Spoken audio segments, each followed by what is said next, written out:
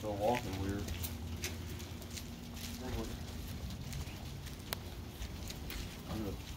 Look at that squirrel. Look at him. Yeah, it's been, Get all, out of here, squirrel. it's been all day. Fucking Christ, they're eating them right there. Oh, chipmunk! Yeah.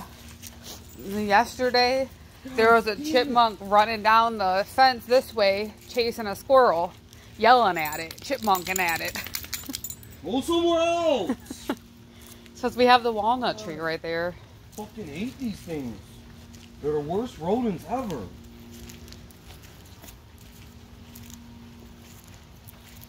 I mean, he, when he first stood up, it seemed like he was walking a little weird, but now he's fine.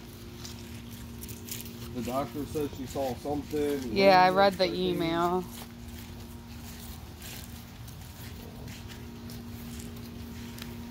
You gonna go potty? He just went like whenever I got home. And he pooped earlier. Nope. I'll take you out of the the pond. Heel. You wanna stop it? Yeah.